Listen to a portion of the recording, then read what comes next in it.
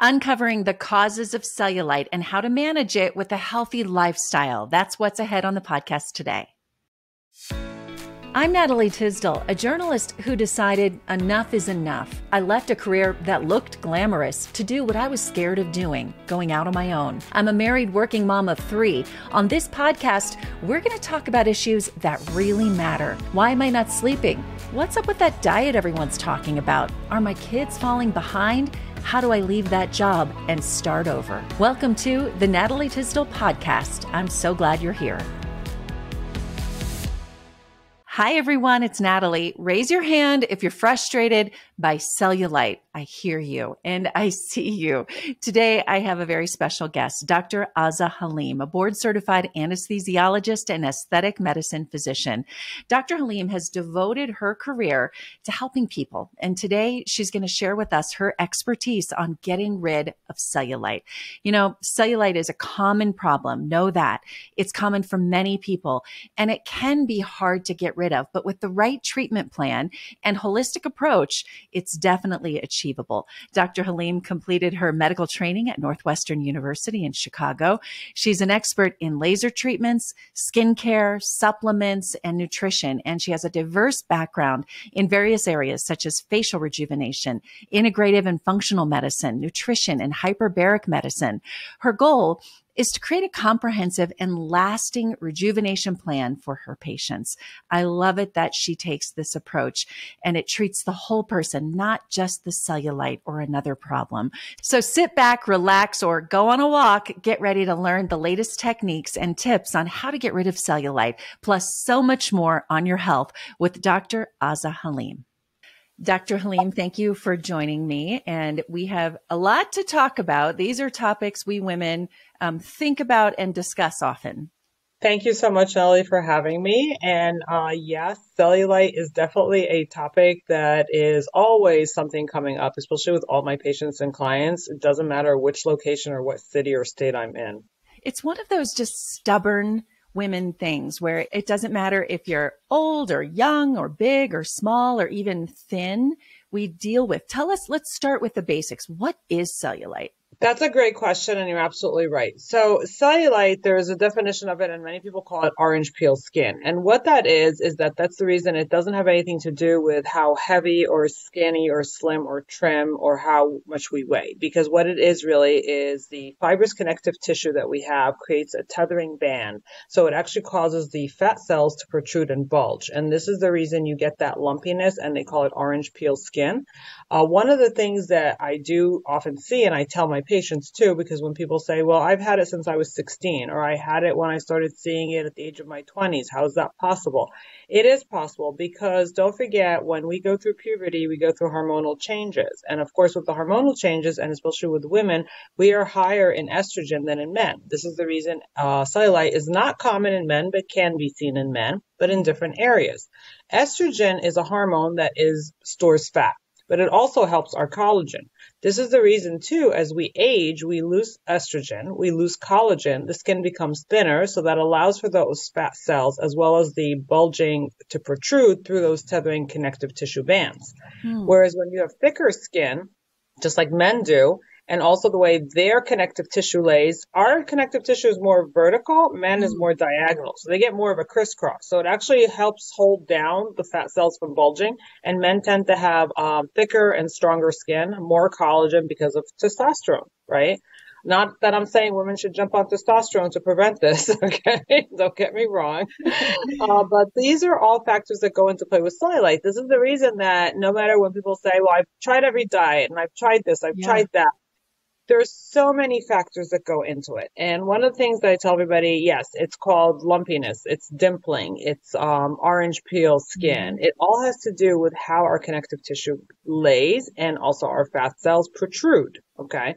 So now, does it have to do with genetics? There is a genetic role and component. Yes. Does it have to do with diet? Diet is can be contributory because if you tend to eat a lot of carbs and sugars and fat, obviously that's going to add to the amount of fat cells you have.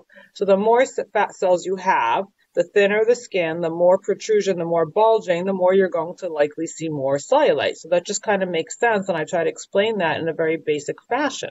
Does it mean that if you have zero fat, you're going to see no uh, cellulite? No, that's not true either. Okay. Because as I mentioned, certain factors include what? Besides the fat cells and fat content is going to be your connective tissue. Mm-hmm. It's going to be your elasticity, right? The collagen in your skin. As you get older, the elasticity decreases, collagen decreases because it all goes hand in hand with our hormone levels and our estrogen decline. Okay.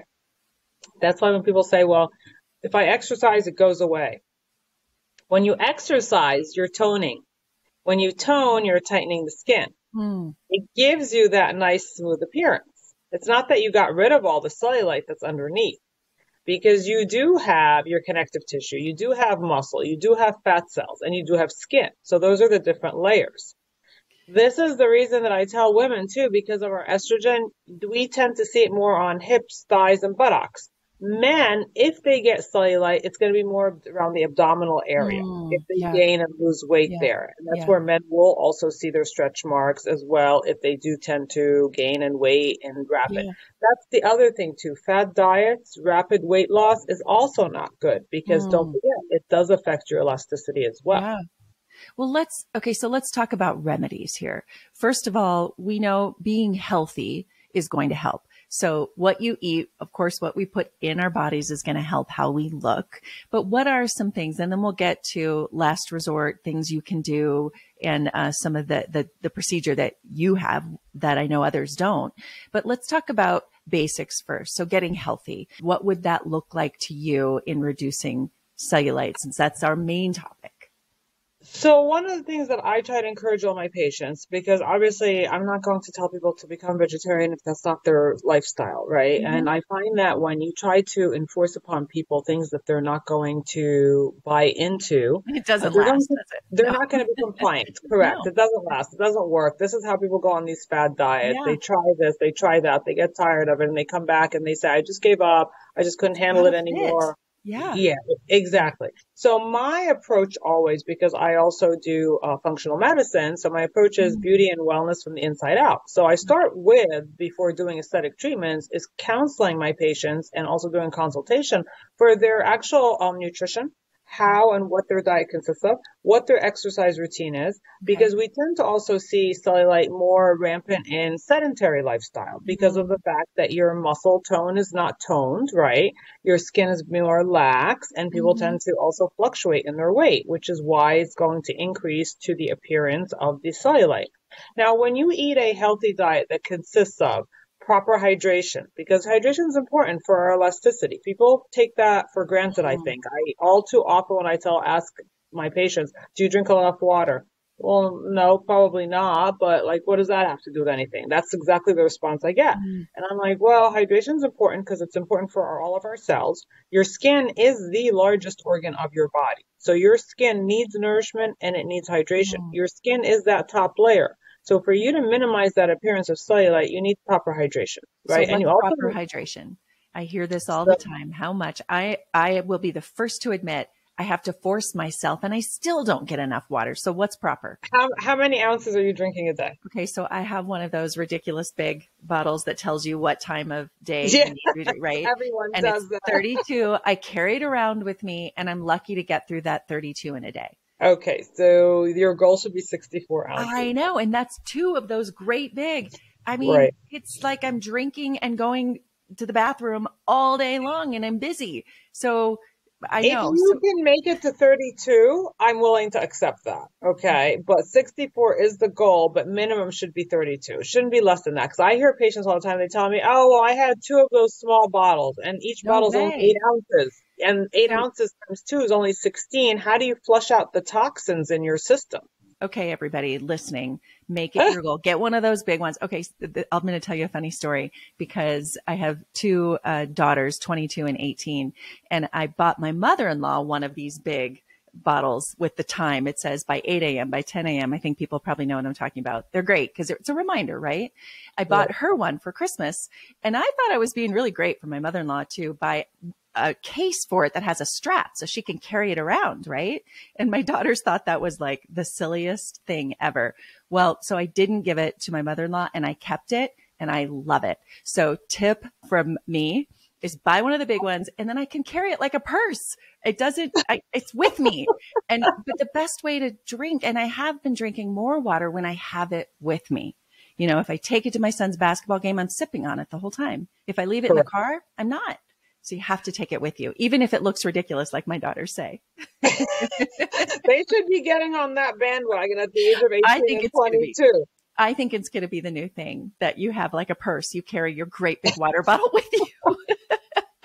and it's funny that you say that because even in my offices, you will see that everybody has that similar bottle. But if you walk by, you'll see how it's people like, it's just it's just sitting there. And I'm thinking they're like, not carrying it with them.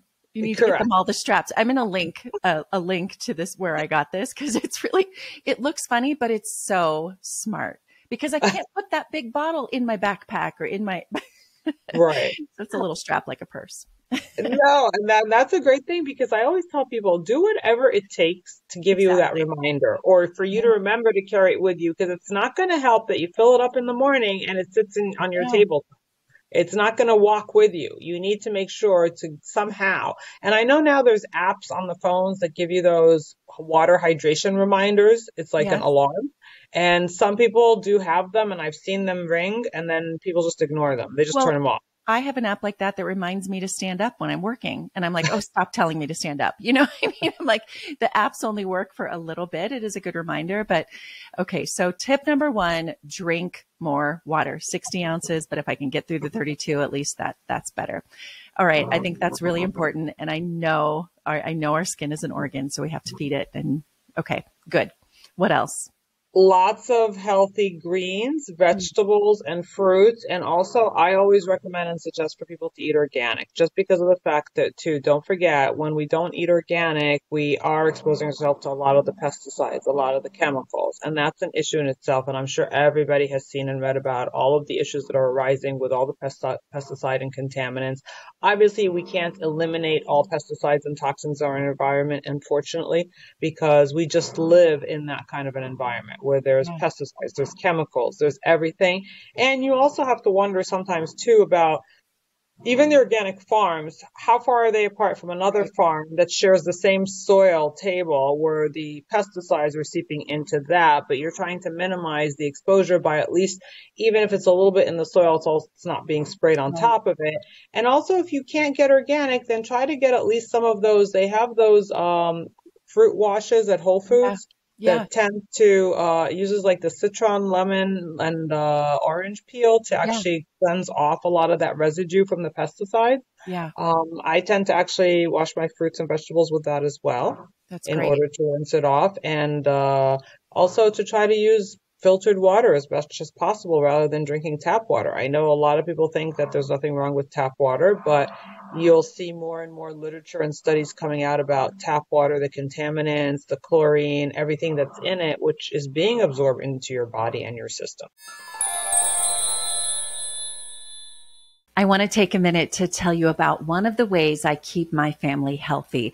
I've been a customer of Seeking Health for several years, and I'm constantly amazed by the positive impact their products have had on overall health and well-being. From the very beginning, the team at Seeking Health has been dedicated to helping me build a strong foundation for my health through their focus on optimizing digestion, reducing environmental exposures, and nourishing my body with pure high quality supplements.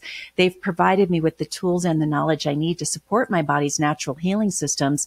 And I have seen significant improvements in my energy, immune function, and overall sense of well-being. A few of my favorites active magnesium, the glutathione plus, immune intensive. Also the electrolytes we put in our water in our family, all great products. And those are just a few. I'm grateful to the team at Seeking Health for their passion for prevention and their consistent commitment to helping with my family's health. If you're looking to take control of your health and build a strong foundation for your well-being, I highly recommend Seeking Health.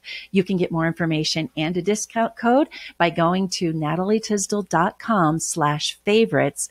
Look for the Seeking Health logo and that discount code. Again, natalietysdal.com slash favorites. The link is in the show notes. What do you do for filtered water? I have a water delivery that comes in the big jugs, and that's what we do. We do an alkaline water, but I'm always curious what experts do because there are so many options when you're just trying to drink good water.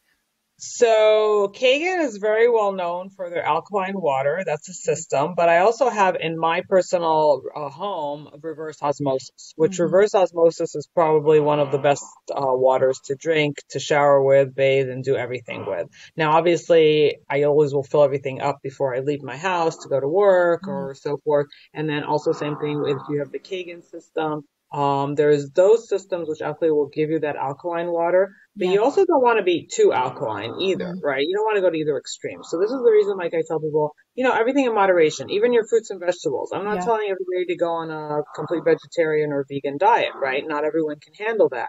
But when you're eating raw vegetables, there's pros and cons to that as well. The raw vegetables are great for your body and your metabolism and to increase and speed up your um, the metabolism, but certain vegetables you need to actually steam them or actually wilt them a little bit because your body is not made to digest them. And this is where people get a lot of flatulence or they get mm. abdominal bloating. Mm. And also the other thing you have to take into consideration is how does it affect your thyroid? Right? I know mm. we're getting into a few other things from yeah. the wellness standpoint, but even spinach. Spinach has a lot of oxalates. When you actually steam your spinach rather than eating it raw, you're less likely to absorb the oxalates. Now, why you may ask, well, what do I care about that? Well, you should because as you get older, the oxalates can actually diminish your calcium in your bones. And this mm. is where we tend to see the uptick on osteopenia and osteoporosis, mm. right? Besides the fact that when people live on antacids or protein proton pump inhibitors, right? Proton pump inhibitors, which are PPIs, to completely shut off stomach acid, right? That contributes to osteopenia and osteoporosis because it also absorbs all the calcium out of your bone. So you're leaching that calcium out of your bone. So, so those are things so that eat, you're saying eat the spinach raw or steam it? Steamed. Steamed. Uh, okay, good. Because I don't love raw spinach. I'll eat it every once in a while in a salad, but I love taking a package of spinach and just throwing it in the saucepan. And I mean, you'll get a whole package of spinach and, you know, it'll right. wilt down and you're like, and I, I, I, I have low iron. So spinach, I just, I crave with a little salt on it. It's so good. It is. And it's very healthy for you. But if you steam it, then you don't worry about because every good thing does come to an end if you overdo yeah. it, right? Yeah. Because if you eat too much raw spinach, now you're also affecting your bone density, right? Which yeah. you don't want to do. So but everything in moderation, but do it. Okay, yeah. so I'm I'm hearing you say the fruits and vegetables. I try to make that my first, and I always tell my kids like make that first. You know, you can't just sit down and have a steak. Like make your make your fruit. What sometimes they will, and my husband too. Like just you know make your fruits and vegetables first, and then add in your protein. And then the Correct. carbs make that like a little special thing. well, the, the carbs also, once again, that depends on what are the carbs that you're yeah. eating because this is the thing I tell people do not deprive yourself of carbs because when you deprive your body of a particular food group, you're going to crave that food That's group. Right. And when oh, you crave so that yeah. And if you crave that food group, that's how you binge, right? So now you get into that vicious yep. cycle. It becomes so, a mental thing. Yeah. Exactly. So I tell people, I don't have an issue with people eating a small baked potato or some baked sweet potatoes. What the issue is when we start doing deep frying, when we add unhealthy fats to the food, right? Or when the, Those when the be- whole meal is based on that. I mean, my son would eat macaroni and cheese and, you know, just carbs all day if I let him but oh, when that's the base of our meal, like pasta or whatever, it's, it's, it's hard. So start with the fruits and vegetables, right? Add a protein and then a little carb is okay and good. And even for myself, um, I tend to do, even if I, I'm not a big pasta person by nature, but like I do have to add some carbs because like I said, if you eat just pure protein or in just pure vegetables, like some people think that that's great and you're very lean and trim and that's fine, but your body still is going to be depleted of certain other nourishment. Yeah. So sometimes I'll throw in some of those pastas that are made out of like either lentils or cashew or something. Yes, yeah. different yeah. like cauliflower. Yeah. And actually you can mask their taste because some people say, oh, oh, I don't know how that's going to taste Depends on how you cook it. Depends what you add to it. Yeah, Let so, me tell you, I made stir fry the other night with cauliflower rice. My kids didn't even know, and they don't. I don't think they listen, so it's okay. But it was great. Some vegetables, a fried egg, like mix it all up. They thought they were having regular fried rice. Oh, I exactly. hope they're not listening. They'll be so mad at me. Uh, but you know what? I I did that with my nephews as well as they were growing up, and as long as they like it, then there's no reason yeah. to complain, right? No, and um, it's good. Yeah, it, it's healthy for you. And then even when it comes to the healthy fats, so we know olive oil is healthy for you. We mm-hmm. know that instead of using butter to cook with, you can use ghee right? Mm-hmm. So ghee is also healthier, and that's been the whole big thing. You don't want to do deep frying. I know everyone now is big on the air fryer kick, which is fine because it gives you very good food taste without all the excess yeah. oil. So yeah. you want to minimize that as well. And basically, because all of that's going to contribute along with if you're already predisposed genetically, right? Mm-hmm. If it runs in your family or if you originally have thin skin, like some people just naturally have good, strong, thicker skin and they're going to age slower anyways. Whereas other people are just unfortunately have thinner skin. That's just yeah. their genetic. That's their heritage. So we're eating better. We're drinking more water. Um, but the cellulite's not going away either genetically or whatever. now, I mean, if that's exercise, case, okay, so add in exercise. So we're drinking lots of water, we're eating better. It starts to show a little bit exercise a normal part of your life, good for your heart, everything else as well. It's going to reduce some of that. But then for those people who are like, I'm doing all of these things and I still don't feel comfortable in the way my thighs look or whatever. What steps do you take and what procedures can help with this? So one of the first things I do after I assess and make sure that they are following proper nutrition, proper exercise. Yep. I love it that you do all of that first, by the way. Thank you. Mm-hmm. Oh, oh, absolutely. One of my big thing in aesthetics that I've always been a big uh, fan of is I always tell patients, okay, let's go through whether I'm doing non-surgical hair restoration, whether I'm doing cellulite treatments, whether I'm doing cosmetic treatments, whatever yeah. it is, body contouring. My big first thing is also regimen because I tell everyone what is the point for me to laser resurface your skin if you're not having proper hydration, you're not taking good skin mm. care of your skin, exercise, diet, and skin care, right? Yeah, right. Um, and then you go get exposed to the sun and you're not wearing sunblock, then that defeats the purpose. Yep, yep. So when it comes even to cellulite, Number one, if you're one of those sunbathers and sun lovers and you're out there all the time on the beach and you're exposing your entire body, don't forget that that's also damaging your collagen elasticity. So you're oh. going to actually show more actual uh, rippling. Oh. Okay? So yeah. that's another thing. I tell people sunblock is important to prevent skin cancer and yeah. to also maintain healthy skin. Um, number two, even using retinols on your skin to help strengthen your skin barrier as well. That's another thing with skincare, even for the body. Everyone tends to focus only on skincare on the face. They forget the neck, they forget oh, the yeah. body, they forget the hands and everywhere else. Yeah. Um, so this is all the steps I take prophylactically with my patients first before I get them onto now the in-office procedures. Okay? okay. So with in-office procedures, there's options. Now I know that there's always new things coming out on the market as far as injectables, this and that. So number one, I have to assess the patient to make sure and see what kind of cellulite, because cellulite is graded and you can grade from zero to four depending which scale you're using mm-hmm. and depending how visible it is. And I have to assess the patient in order to see, can I get away with one or two treatments of, I have a actual trademark procedure called, um, Carboxy Smooth, which was featured in BuzzFeed a few years ago. But the thing is that is, it's a multiple step procedure where I am actually combining carboxytherapy with PDO threads and other energy based device in order to break the tethering, which causes those cords to pull okay. down and it causes the actual bulge of the fat up. So when I am able to cut out all of that, I treat the cause, not the effect. Okay. A lot of treatments on the surface that you could do, yes, lymphatic massage, drainage, a lot of those, you know, infrared uh, saunas mm. and so forth will help temporarily but you're mm. not treating the cause. And the root cause is those tethering bands, right? Okay. So unless you happen to be able to get rid of those tethering bands, you're not going to get rid of the cellulite. But then if you cut the bands, they come back. So this mm. is the reason with one of my trademark secrets is how do I prevent the bands from coming back? This is the reason I get my patients lasting results. Okay. Um, the other thing too is some patients sometimes it's so mild that they may just need radio frequency uh, device treatments that I can do. Other patients may need just a little bit of what they call collagen biostimulators, which is an injectable form that I can do. Wow. Yeah. So lots of options in the way yes, that it's absolutely. treated. Yes. And, And, are it these depends all on the patient. simple? Like for people who, I mean, first do these other things. I mean, absolutely get healthy first. I, I'm, I'm really, I really want to emphasize that. But for people who are so frustrated, how, how expensive and how difficult are the procedures? You, you listed three, I think, but how intense are those things? So when it comes to intensity as far as pain, they don't really feel it because we do topical numbing. I numb the area. I make sure they're comfortable. We also offer them something called Pronox, which is laughing gas if they need it or something to help take their mind off of it and ease. So we make sure that the procedure is comfortable. That's number one. Uh, number two, as far as the downtime recovery, with any procedure or treatment, there's always risk of bruising and swelling depending on how everyone heals. Like some people, you just go get some Botox or you get a filler done and they actually will bruise. Other patients, you can do anything and they don't bruise.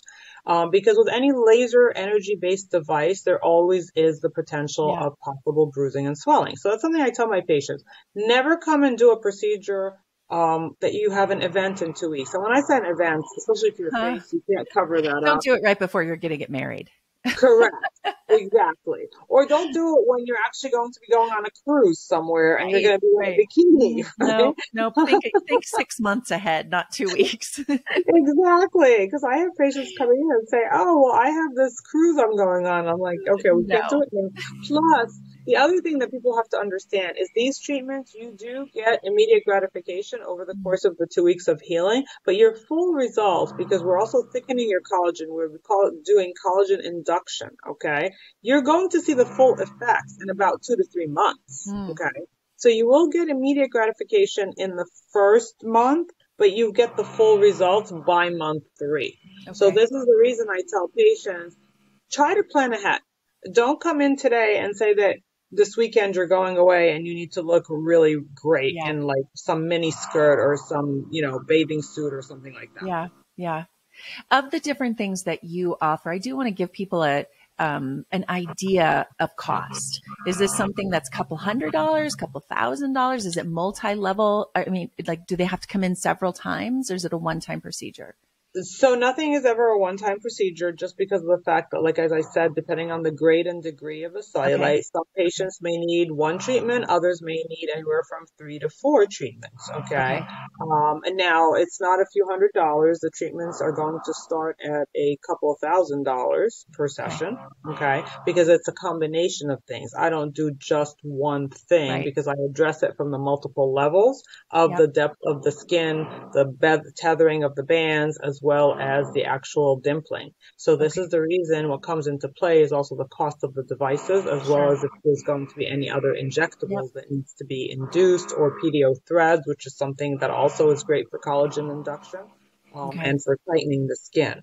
So Okay. those are the factors that affect it. So you would be looking at starting anywhere from about $1,500 and up, depending on how many treatments and what you will need, Yeah. because not everyone needs the same treatment. As I tell everyone, I customize the treatment. I customize everybody's nutrition plan, exercise plan, as well as their aesthetic plans. That's great. Well, I think it's just good for people to have an idea. How long do I need to save? What do I need to do? Is this is this right for me? Absolutely.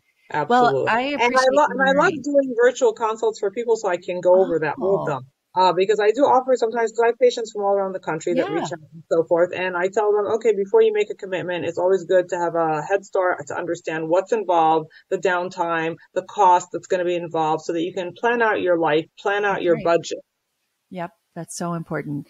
Um, okay, tell people where they can find you, get more information. I didn't know you did virtual, so that's really cool.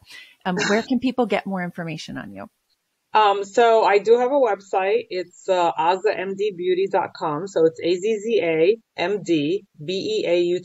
all one word, dot com. And also that is my IG handle as well. So everyone can also go to my Instagram as well to see and see some of the before and afters in the galleries. There's also a contact and a message in there, um, as well as in my actual uh, website.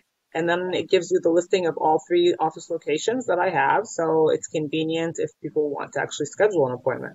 So are you going to come to Denver for me? That sounds like a perfect place for you.